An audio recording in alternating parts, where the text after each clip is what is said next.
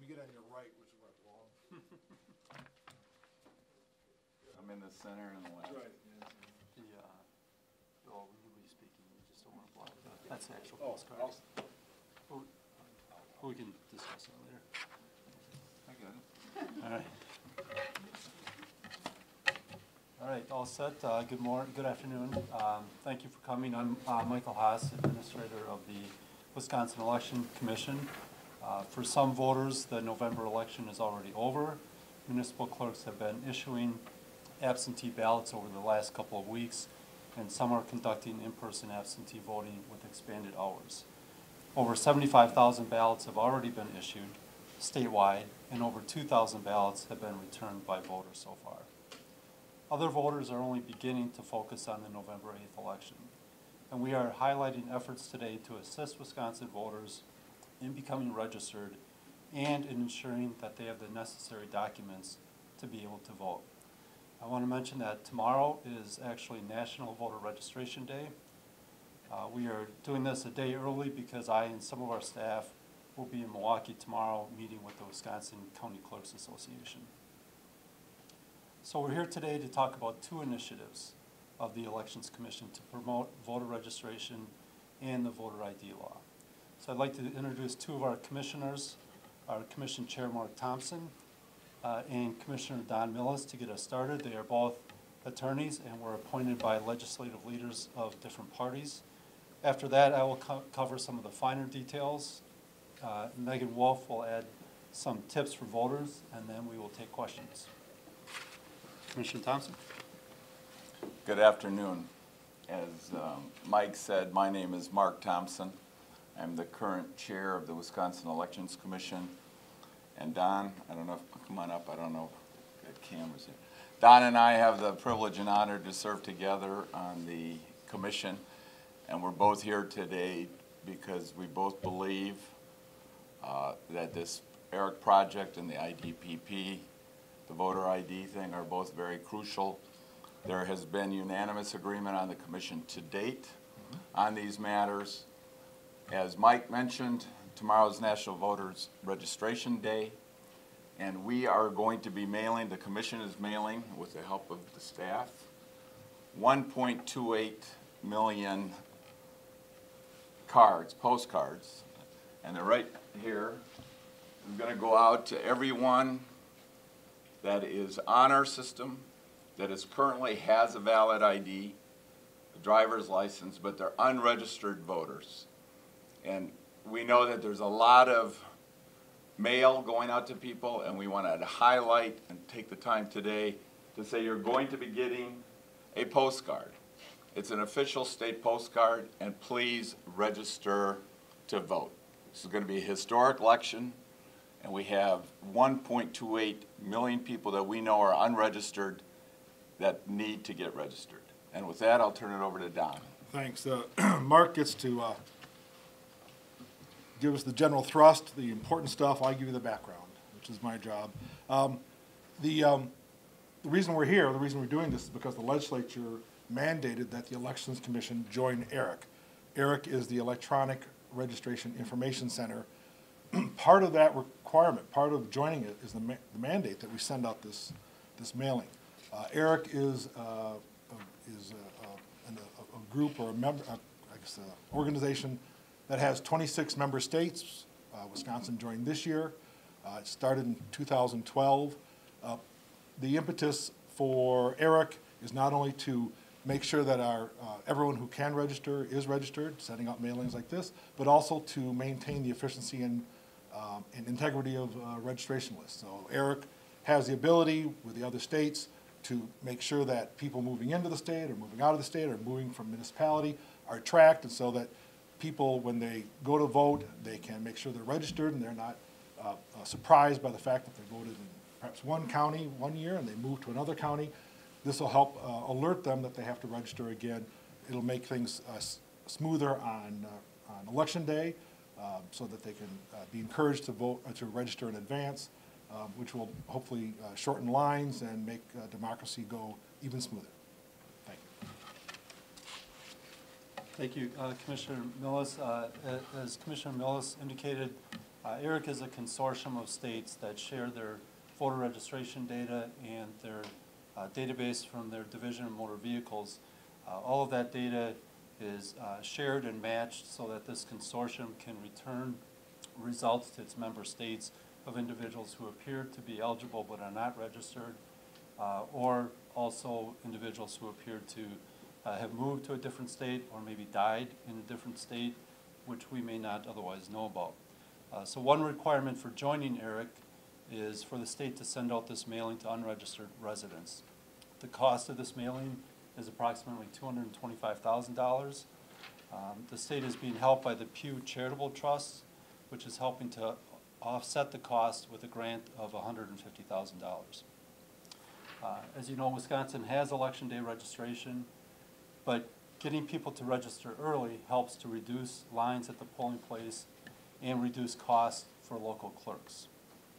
Everybody who is getting one of these postcards already has the photo ID they need to vote.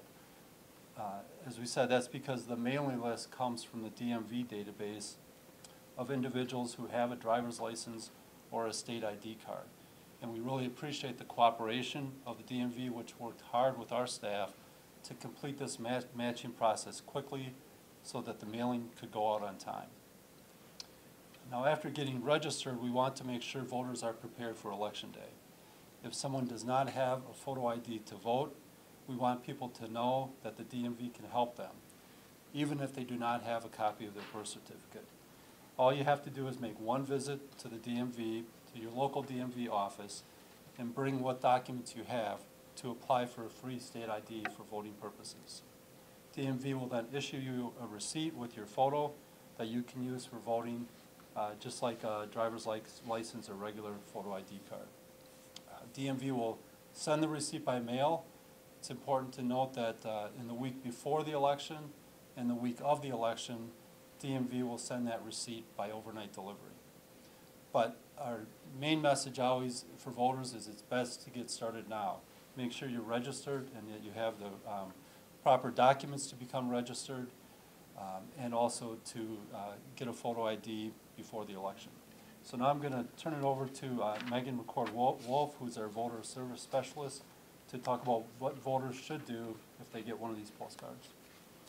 Megan? Great, thanks, Mike. Um, I'm Megan McCord Wolf, and I'm going to explain what you should do if you get this postcard in the mail from us. So, the postcard is going to prompt voters to register to vote. The postcard asks unregistered voters who need to update their name or address or who need to start a new voter registration to go to our website, which is myvote.wi.gov. The website will guide the voter through the registration process or with registering at their new, at their new name or at their new address. At the end of the process, the site will also give you detailed instructions on how to print your form and mail or deliver it to your municipal clerk along with your proof of residence documents.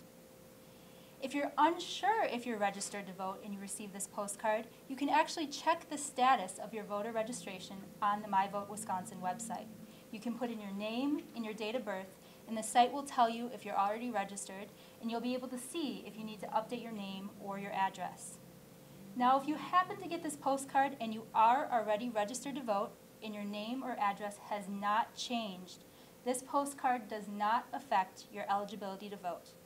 If your record for voter registration is active and your name or address hasn't changed, then no action is required on your part. Now, while we're asking voters who receive this postcard to go to the My Vote Wisconsin website, please keep in mind that this is the same process that any voter who needs to register to vote or update their name or address should follow in order to, to register to vote. Now, if you receive one of these postcards and you prefer to give us a call, you can give us a call at the toll-free number that's listed on the postcard.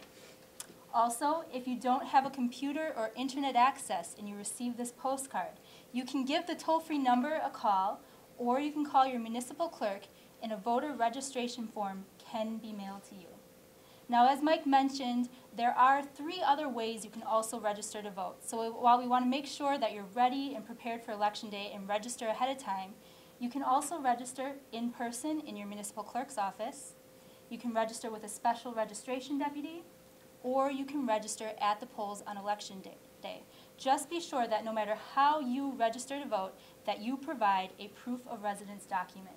Now, a proof of residence document is something that shows your current name and your current address. So this could be something like a utility bill or a bank statement. Once you're all set and registered to vote, the next step is getting your ballot. Now, some voters, they choose to get their ballot by absentee ballot by mail. Others vote in-person absentee in their clerk's office, and others go to the polls on election day to vote. No matter how you vote, be sure to bring your acceptable photo ID. Now, there are some people that are exempt. If a person has a hard time getting to the polls because of age, illness, infirmity, or disability, they can request an absentee ballot be mailed to them without providing a photo ID. So once you're registered to vote, make sure that you have the acceptable photo ID that you need by visiting our website, bringit.wi.gov. Most voters already have the photo ID they need, so you can check it out there. Um, if you don't have one of the acceptable photo IDs, like Mike mentioned, there is a free state of Wisconsin ID card that's available. They'd like you to bring some things like a birth certificate, but if you do not have a birth certificate or other documents available, the DMV can still help by providing a ID through their ID petition process. And this ID can be used for voting purposes. Now, if you get to the polls on election day and you still don't have the ID that you need, there is still what's called a provisional ballot. And this allows you until the Friday after the election to either apply for one of those ID card receipts or to get your ID and bring it to your municipal clerk before that Friday after the election. Just to kind of summarize, uh, the postcard and anybody that needs to register to vote or update their name or address should go to our website, myvote.wi.gov, to check your voter registration status, start a new voter registration, or update your name or address. Also, once you are registered to vote, make sure that you have the acceptable photo ID that you need for Election Day by visiting bringit.wi.gov. And with that, I'm going to turn it back over to Mike for questions. Before we get to questions, just uh, a couple of um, items. Uh, We do have a copy of the uh, temporary receipt that voters will get if they enter the ID petition process at the DMV, and if they're not able to, if DMV is not able to verify that that individual has all the information they need to get an actual photo ID at that time. Um, It does note at the top that it is uh, valid for voting purposes only, but this will be um, issued to those individuals, and uh, it is good for 60 days. If that petition process is not resolved by that 60-day deadline, the, um, the temporary receipt will be renewed for another 60 days. So we do have a copy of that. I would also mention, as far as the mailing, that uh, the first postcards are going out today. Uh, Over 300,000 postcards, three to 400,000 postcards will be mailed today. The remainder of the 1.28 million will be mailed throughout this week. Um, It it may take a few days for it to um, uh, arrive in recipients' hands, uh, depending on where they live in the state. Um, But we would expect by the end of this week, or uh, by, at least by the middle of next week, that those postcards should be um, showing up in people's mailboxes. With that, we'd uh, open it up for questions. With the one point two eight million, um, do you know how many of those are people who have never been registered? And how many are just people moved and need to update their registration? I believe it's, um, as far as what's in our database, it's people who have never, well, who are not currently registered. So they may have been registered at one point, and they are not uh, registered now, or they may not have been registered at all in our uh, statewide database. Um, Do you have an expectation as to, of those one point two eight million, how many you think will follow through and actually get registered? Um, I don't think we have any really reliable statistics. Um, ERIC has compiled statistics of what they think the impact of these types of mailings have been um, throughout the country, but um, we do have a very high rate of registration in the state of Wisconsin, higher than most states, so it will be interesting to see if that affects the number of people who actually return the postcard. Uh, We do not really have a projection for what we're expecting. Um, As Megan mentioned, we do have our, our toll-free number that will be staffed. Um, And that number is available for um, people who get the postcard and just might need some assistance walking through the process. Um, Although they're directed to a website, they can't actually register online yet, right? They've got to print things out and mail them in? Correct. Uh, The registration form needs to be um, completed, it can be completed online, but it needs to be printed out, signed, and the original form returned uh, to the municipal clerk. Online registration, we are working on that as well with the DMV, and we expect that process to be available early next year. Mike, at the top, you mentioned there were seventy thousand absentee ballots issued so far, right? We believe over seventy-five thousand. Seventy-five thousand. Now, is that mail requests or are you counting in-person early absentee? All, all forms, whether it was um, mailed, in person, um, downloaded on our My Vote Wisconsin system by a military or overseas voter, or sent by email or fax. Um, And that was as of Friday, and so we've not updated those numbers. Uh, We expect that um, it's uh, significantly higher at this point. What was your starting point for measuring that? What date? Uh, I believe we only started last Tuesday, I think was the first So statistics we Tuesday generated. and Friday, those five days, seventy-five thousand went out? No, I- no, by Tuesday, there were some that had al- already been issued, I think around twenty thousand or so, um, if I remember correctly, by last Tuesday. Okay.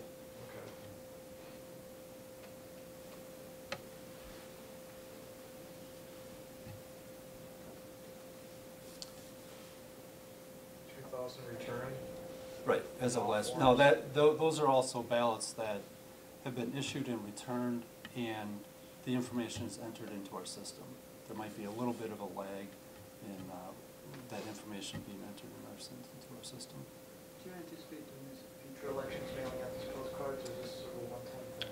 Now, the ERIC membership agreement requires that we do this type of mailing before every general election, so every fall of uh, even numbered year, although we are only required to contact individuals once. So if they receive this mailing and they do not register, they will not be included in the mailing in two years. So what states have found is that the first mailing is a very large mailing. We expect uh, in two years, the number of individuals receiving the mailing will, will drop uh, dramatically. Sorry, Mike, why is that? Why would that drop in two years? Uh, Because uh, under the, the ERIC membership agreement, states are required to contact individuals only once if they are, appear to be eligible, but they're not registered. Um, So they will not continue to get the same postcard uh, every two years. So, no data, I'm sorry. So if, if you only have to do it once, why are you doing it again? Well, we will have, uh, there'll be new people that show up in the matching process, many, many, many fewer, but there will still be people who have moved, um, uh, or, you know, turned eighteen, have, uh, now have a license or a photo ID and are not registered. So no database is perfect, there's always, when you're dealing with over a million people, you'll have some mismatches. Probably somebody who's already registered and has everything lined up correctly is gonna get one of these cards. Any notion of if that's gonna happen to one percent of voters or ten percent of voters, Um, I- and is that gonna create any problems? Well, it, it's a, it's a great question, and we have talked to other states, other ERIC member states, and they have said that that is one thing um, to be aware of, to expect calls from people who slipped through the matching process. We have stated on the postcard that state records show you may, may not be registered to vote. Um, So we expect there may be some people who are registered to vote. As Megan said, this will not affect their eligibility. Um, We have tried to come up with criteria, matching criteria with the DMV and uh, with ERIC that is as foolproof as we can, but we expect some to slip through. We just don't know. We won't know um, how many until we start to get some phone calls. You know, on that issue, I think it's very important, though, to know that no one will be coming off the list prior to the election. You know, the cleanup of the registration list will take place after the November 8th election.